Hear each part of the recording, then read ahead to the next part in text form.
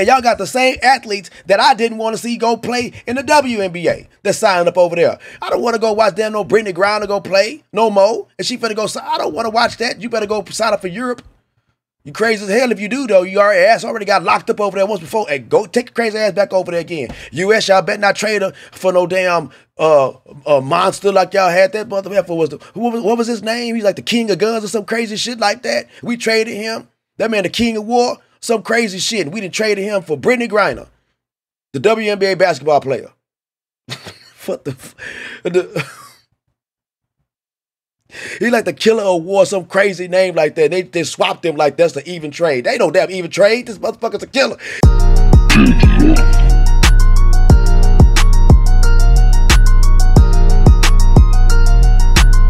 Hey, yo, what up, guys? It's your boy Chocolati. I just want to say thank you for everybody who's been tuning in and rocking with your boy, man. The subscriber count is going up. It's real over here, man. We're almost to 4K, bro. So let's just keep on pushing this thing forward.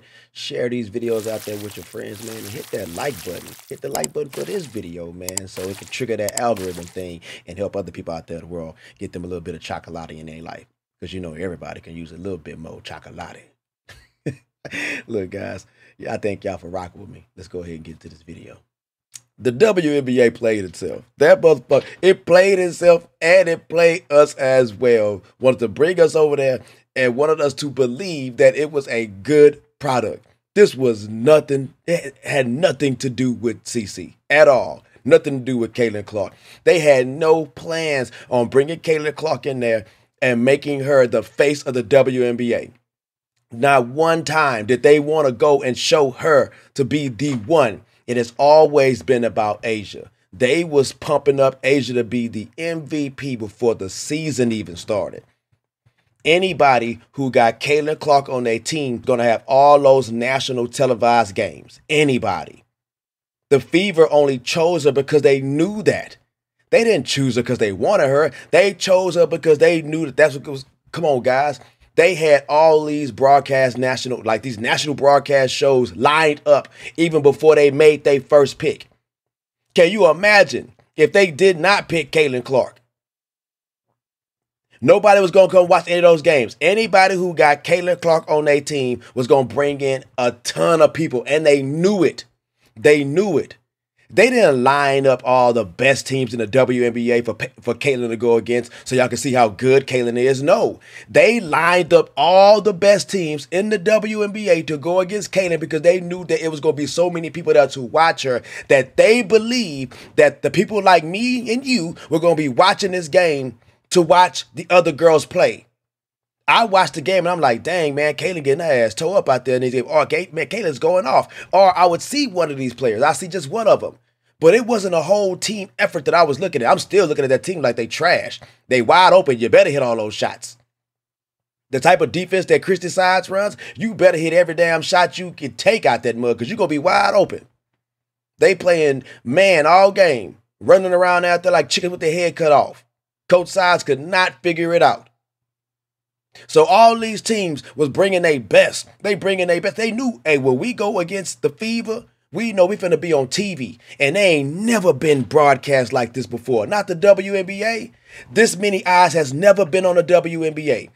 And instead of them fixing their product, they kept it exactly the same. They kept it the same way that kept us from watching it. They was like, oh shit, we finally finna get people over here to watch and see how great we are. Watch this, guys. Hell no. Nothing has changed for me watching the WNBA. Not one day out there. You know what the thing that changed for me watching the WNBA? Caitlin Clark.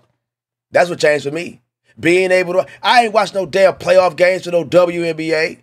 I didn't watch none of those games leading up to the championships for the Comets. I didn't. I watched the championship game, just like the MLB. Same way. I was I'm not watching no Astros games leading all the way up to the damn championships. I'm not watching no Yankees. I'm not watching none of them damn games. But as soon as the championship round start, the playoffs, I'm watching it because it's exciting. And listen, there was no excitement in the WNBA. None. Zero. It was not exciting. But when you play in the finals, because you got two teams that's really, we gotta win, guys. This is gonna be the first WNBA championship. And it was, it was, it was great. But then after that, it was like, okay, what what what what's next? What is going to be the evolution of WNBA basketball? and they couldn't find it. The WNBA hit its peak in 1997. That's right. As soon as the WNBA started, that was the peak of the WNBA. That was it.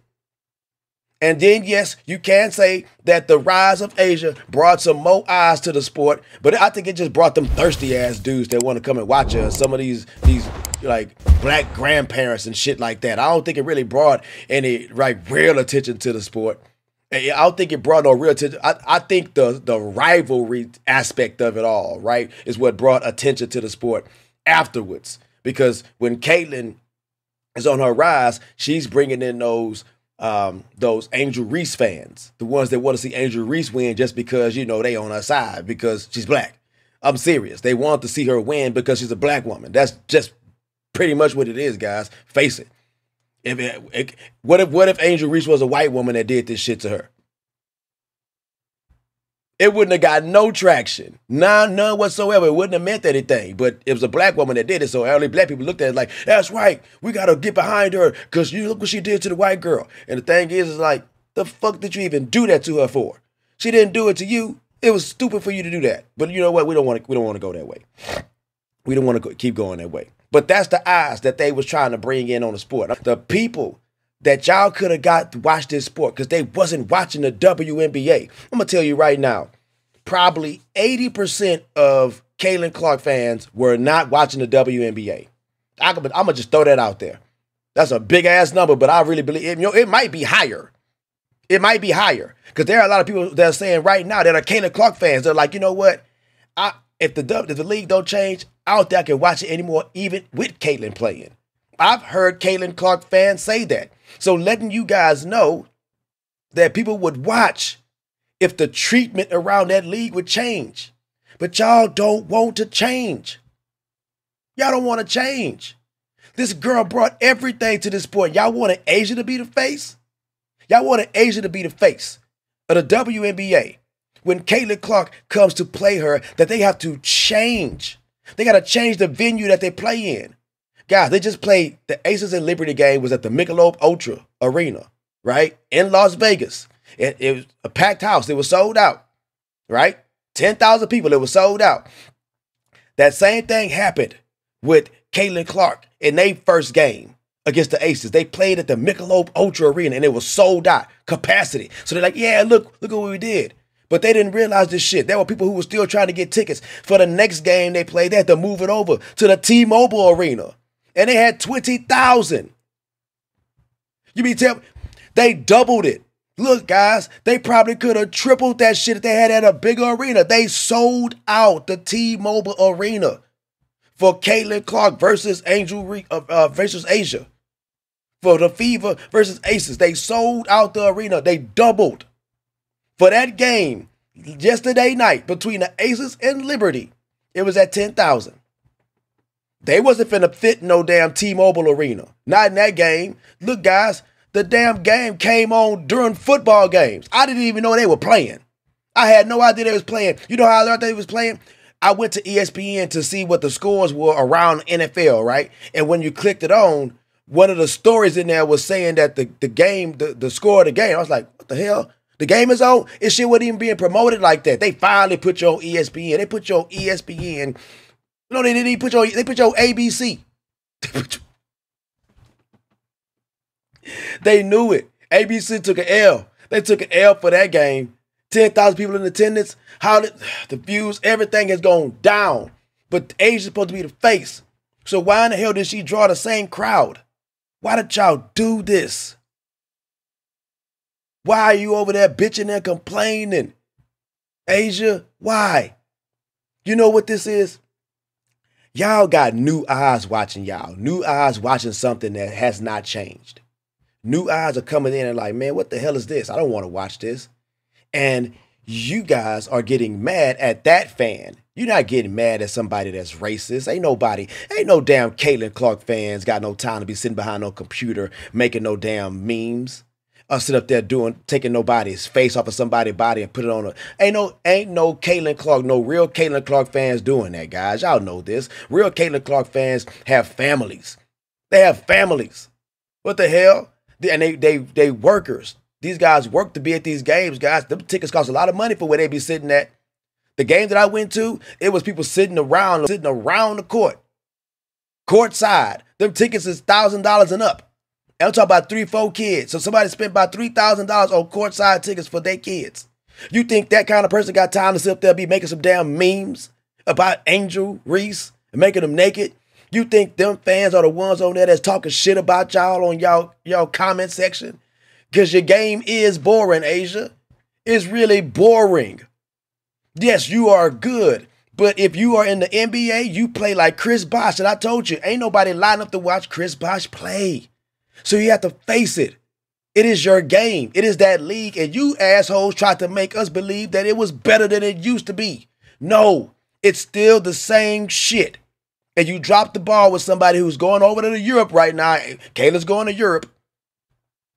And, and, and, why? I don't know. I mean, maybe she just want to go over there on vacation, but I'm telling you, they can offer a lot more over, over there in Europe to go play.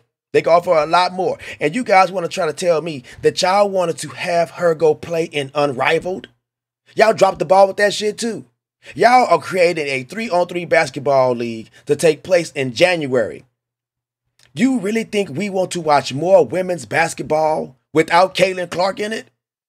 You really think we want to watch more women's basketball? Because it's three on three now, because it's one on one with the exact same women who play in the WNBA that most Caitlin Clark fans are looking at like, man, we don't want to see them play. Now, if they go over there and start a league, y'all fumbled. Y'all fumbled.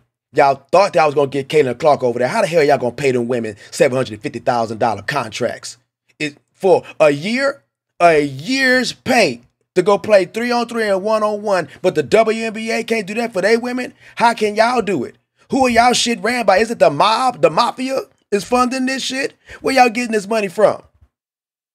And y'all got the same athletes that I didn't want to see go play in the WNBA that signed up over there. I don't want to go watch damn no Brittney Griner go play no more. And she finna go, I don't want to watch that. You better go sign up for Europe. You crazy as hell if you do though. You already ass already got locked up over there once before. Hey, go take your crazy ass back over there again. US, y'all bet not trade for no damn uh, uh monster like y'all had that motherfucker was the what was, what was his name? He's like the king of guns or some crazy shit like that. We traded him. That man, the king of war, some crazy shit. And we didn't traded him for Brittney Griner, the WNBA basketball player. what the, the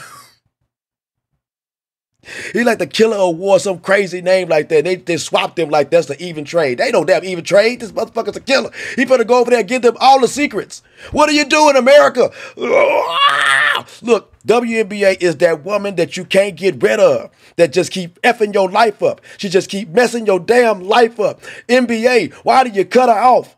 She's that mistress that you can't get rid of. Like she got some dirt on you. What dirt do you have on the NBA?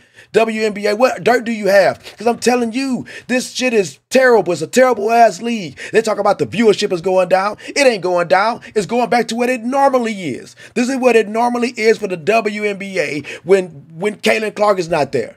This is what it is. Imagine how the WNBA was in 2023, guys. Let's let's think about it. How was the WNBA in 2023? None of us knows because we wasn't watching this shit. We just started watching it right now in 2024. Everything that you see right now, it feels like it's just brand new, but it's old as shit because I seen this shit before I didn't want to watch it. It was brand new with the addition of Caitlin Clark, me watching how good she was out there. But it was the same old bullshit that I watched in 1997. Nobody wants to do that to nobody's gonna continue to do that to themselves. You can you, you can keep doing that to yourself if you want to. Hell no. Nah. A'ja is not gonna be the box office draw that's gonna bring everybody over to watch no damn WNBA basketball. You're not gonna be it, A'ja. You your basketball game is boring. She's talking about this is the most people I ever had tell me that my game is boring because you have more people actually watching your game, not the same people that's been watching your game because they thirsty. You got they thirsty out there checking you out, A'ja, for real. And they're gonna be really upset when you pull that Candace Parker move on their ass in about two or three years after you have your kids with Bam or something like that. You already know they're gonna get you. The, the, the WNBA is going to get you just like they got Candace Parker. Listen, if you don't know what I'm talking about, go look it up for yourself. And you're going to be like, oh shit, chocolate, that's messed up. Look, if you make it to the end of this video, go find out for yourself what I mean about the, the WNBA getting A'ja and turning her into the new Candace Parker. Y'all go ahead and go look that up for yourselves. Go ahead and look it up. And when you find it, just put a thumbs up in there that you went and found it. If you make it to the end of this video, go do that for yourself. And do this for me as well, guys, because this is the end, right? If you're new to the channel, please hit that subscribe button. Hit that like button, hit that notification bell so you know when you boy drop live streams. Look, look, guys, I am out. I appreciate y'all for rocking with me. I truly, truly, truly do. Once again, hey, hit that like button for your boy because it triggers the algorithm to get your boy pumping and going out there, man. I appreciate y'all for rocking with me. Y'all take care. Peace.